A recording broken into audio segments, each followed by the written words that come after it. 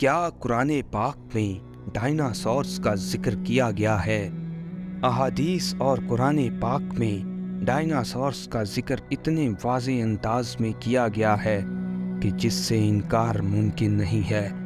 हम आज की वीडियो में इन तमाम आयात और अहादीस का जायज़ा लेंगे, जिनसे डायनासोर्स की मौजूदगी का पता चलता है। ये आज से पैंसठ मिलियन साल पहले की बात है। अल्लाह ताला ज़मीन पर इंसान को उतारने का फैसला कर चुके थे। तब ज़मीन पर एक खौफनाक मखलूक आबाद थी। इस मखलूक की मौजूदगी में इंसानों का इरतका मुमकिन नहीं था। ज़मीन पर इंसान उतारने से पहले एक तवाज़ुन कायम करना ज़रूरी था। लिहाजा आज से करोड़ों साल पहले आसमान से ज़मीन पर शहाब साकिब की एक बहुत बड़ी बारिश हुई। शहाब साकिब की बारिश ने ज़मीन से डायनासोर्स का खात्मा कर दिया। डायनासोर्स के खात्मे से ज़मीन पर वो बैलेंस कायम हुआ, जिससे इंसानी नस्ल ज़मीन पर तेज़ी से फलने फूलने लगी।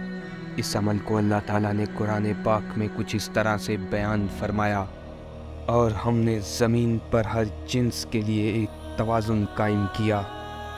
डायनासोर्स के तस्वुर को मज़ीद वजाहत से समझने के लिए सूरह लुकमान की आयत नंबर दस को समझना होगा। इस आयत में अल्लाह ताला प्री हिस्टोरिक पीरियड का ज़िक्र करते हैं। अल्लाह ताला ने फरमाया हमने ज़मीन पर पहाड़ों को ठोक दिया ताकि ज़मीन हिलती ना रहे और फिर ज़मीन पर हर किस्म के दरिंदों को फैला दिया।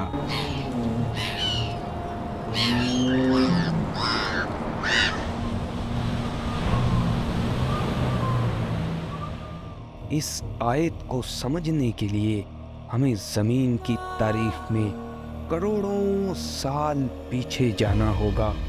इस आयत में अल्लाह ताला पहाड़ों के बनने का ज़िक्र कर रहे हैं। ये उस वक्त का ज़िक्र है, जब ज़मीन पर बड़े बड़े पहाड़ी सिलसिले नमूदार हुए। इस दौर को साइंस की ज़ुबान में मैसोजोइक कीड़ा कहते हैं।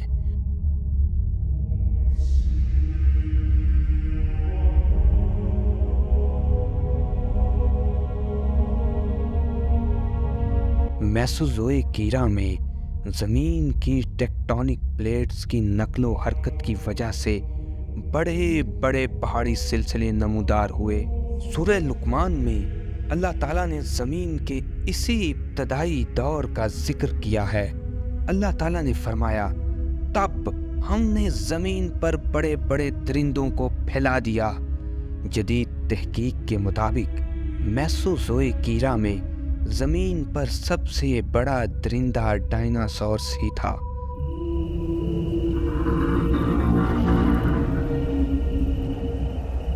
सूर्य लुकमान की सायद से वाज तौर पर पता चलता है कि इसमें जिन दरिंदों का ज़िक्र हो रहा है, वो डायनासोर्स ही थे।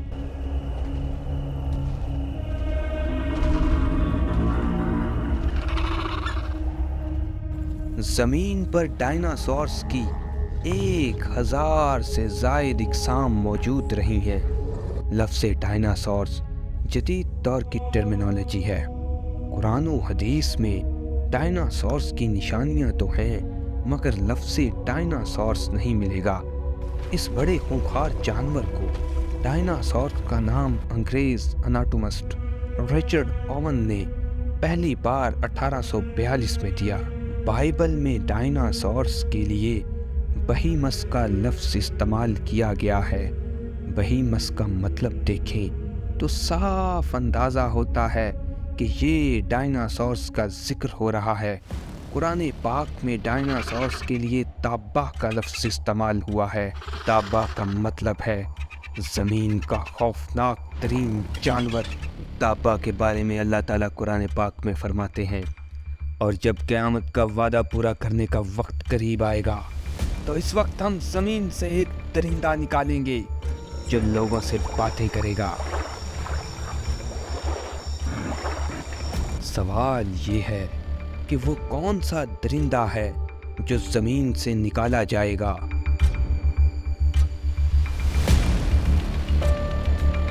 आज की जदीद साइंस इस बात पर मुत्तफिक है अगर किसी जानदार का डीएनए हासिल कर लिया जाए तो मुस्तकबिल में इस जानदार को मुकम्मल तौर पर बनाना मुमकिन हो जाएगा।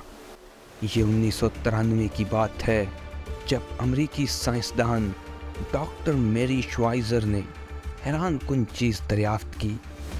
डॉक्टर मेरी श्वाइज़र की टीम ने लाखों साल पहले नापैद होने वाले डायनासोर्स की हड्डियों से प्रोटीन निकालने में कामयाबी हासिल कर ली।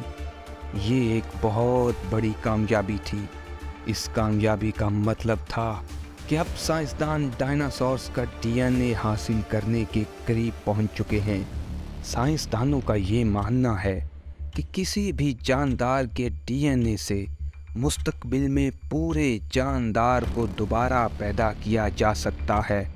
कुरान पाक में इस अमल को कुछ इस तरह से बयान किया गया है। वो कहता है कि हड्डियों को कौन ज़िंदा करेगा, जबकि वो टूट फूट का शिकार होंगी। डायनासोर्स जैसे जानवर का ज़िक्र अहदीस मुबारक में भी मिलता है। आखिरी ज़माने की अहदीस में एक खौफनाक जानवर जसासा के बारे में बताया गया है। जसासा एक दरिंदा है। जिसे तज्जाल अपने मकासद के लिए इस्तेमाल करेगा। जसासा के लिए अहदीस में ताबा का लफ्ज़ इस्तेमाल हुआ है। ताबा का मतलब होता है, ज़मीन का खौफनाक तरीन दरिंदा, जानवरों पर तहकीकात करने वाले। सब साइंसदान मुतफिक हैं कि आज तक ज़मीन पर चलने वाला सबसे बड़ा खौफनाक दरिंदा डायनासोर्स ही है। रवायात में है कि दज्जाल जिस गधे पर सफ़र करेगा, इसकी रफ्तार बहुत तेज़ होगी। ये ऐसी सवारी होगी जिसके दोनों कानों के मबैन चालीस हाथ का फासला होगा। अब सवाल ये है कि गधा ना तो हवा में उड़ता है और ना ही गधे के कानों के मबैन चालीस हाथ का फासला होता है। ऐसे में दज्जाल किस गधे पे सफ़र करेगा? इस हदीस को समझने के लिए आपको चमगादड़ का मेडिकल स्ट्रक्चर समझना होगा। चमगादड़ ऐसा जानवर है जो अपने परों को बतौर कानों के तौर पर इस्तेमाल करता है। चमगादड़ के अलावा ये खूबी कुछ उड़ने वाले डायनासोर्स में भी पाई जाती है। इन डायनासोर्स के परों का दरमियानी फासला तकरीबन वही बनता है जो दज्जाल के गदे का बताया गया है। कुर्ब क़यामत की अहादीस में लिखा है कि आखिरी ज़माने में अल्लाह ताला ऊँट की गर्दनों जैसे परिंदे निकालेंगे। ये परिंदे अपनी चोंच से याजूज माजूज की लाशों को पकड़कर वहाँ फेंक देंगे, जिधर अल्लाह चाहेगा। सवाल ये है कि आखिर हमारी दुनिया में कौन से परिंदे इतने बड़े हैं जो याजूज माजूज को उठाकर फेंक सकते हैं? इस दुनिया की तारीख में टेरासॉर्स ही ऐसे परिंदे हैं जो इस निशानी पर पूरा उतरते हैं। टेरासॉर्स करोड़ों साल पहले डायनासोर्स के साथ ही ख़त्म हो चुके हैं। सवाल ये है कि डायनासोर्स के करोड़ों साल पुराने डीएनए से कैसे डायनासोर्स को दोबारा ज़िंदा किया जाएगा?